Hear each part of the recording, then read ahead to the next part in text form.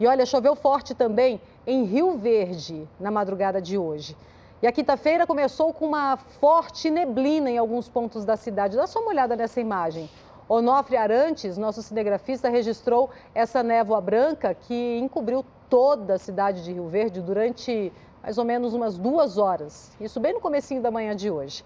Foi difícil passar por alguns pontos ali de Rio Verde. Os motoristas Principalmente aqueles que precisaram passar pelas rodovias que cortam o Rio Verde enfrentaram muita dificuldade, precisaram redobrar a atenção. Fica mais difícil dirigir sem enxergar nada, né, gente? É muito perigoso.